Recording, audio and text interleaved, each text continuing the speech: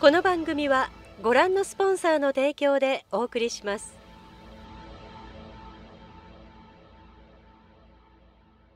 激辛スターチャンネル。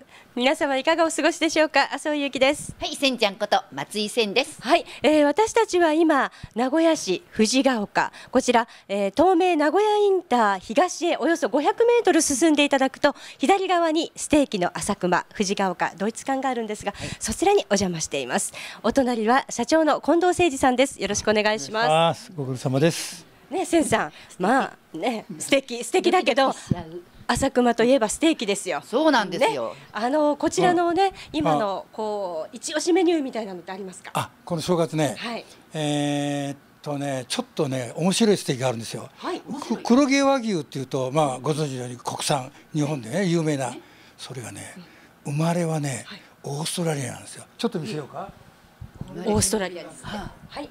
これ現物なんだけど。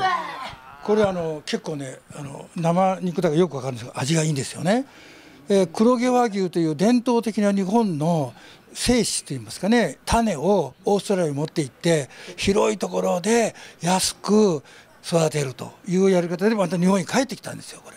これが今ここで有名で売られてます。ねえ長い旅路って感じがしますけどね。もうひとしおでしょうね。ね。なんかなんかや柔らかくて美味しいんですね。えね。今おすすめのメニューですからね。ぜひ皆さん召し上がってみてください。さあそれではいよいよ今週も激辛スターチャンネルスタートです。じいちゃんいつものとこ行こう、一緒にゲーム。一緒にご飯。一緒に天然温泉。また来ような。天然温泉悠々会館家は構造材の強度が一番重要です。いい材料を十分に使ってしっかりと施工しなければダメなんです。私が責任を持って地震に強い頑丈な家をお作りします。